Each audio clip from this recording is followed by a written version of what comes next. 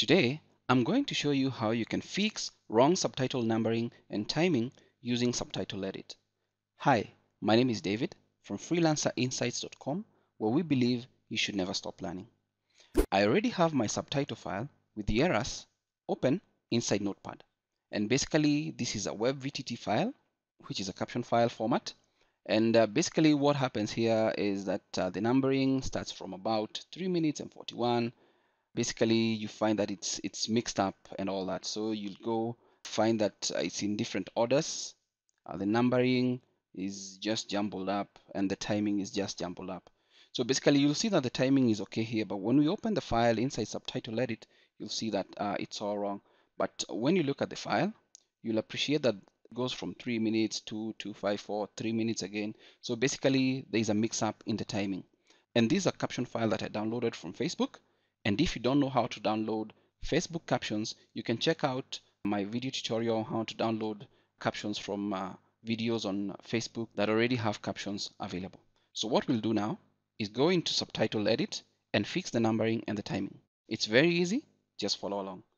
So I already have my subtitle edit open and basically this is what you get. So all I need to do here is just go to file and click on open and I'll be navigated to the folder with the subtitle file that you've seen with the errors and it's this subtitle file, subtitle file with numbering and timing error.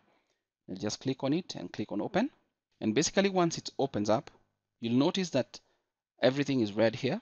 This is a sign of a warning a clear sign of a warning. So you'll see the numberings, uh, the timings as I showed you. And here it shows as if uh, they're going in the uh, correct order. But wait for a moment and you'll see what will happen the minute we change the timing. So the first thing that we need to do is change the timing and then renumber the subtitles. So I'll just go to tools and then select sort by and then select by start time. Basically, once I hit on that, you'll notice that this file which was number one, comes to the bottom because it's almost at the end of the video. And then we navigate back to the top. If you scroll up, you'll see that this is the start uh, of the caption file. So basically it's uh, uh, caption number 95 or line number 95. And uh, the next thing we need to do is just renumber the captions. So basically just come to tools, renumber, and uh, you'll need to enter a number, start from number.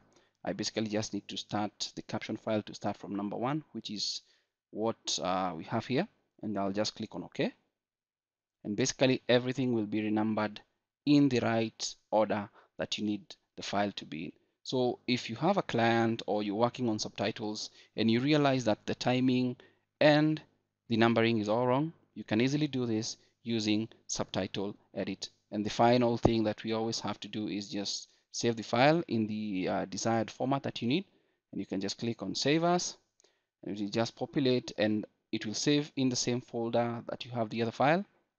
And you can just decide to save it as, as a subrip uh, caption format. Just, just say, okay, save.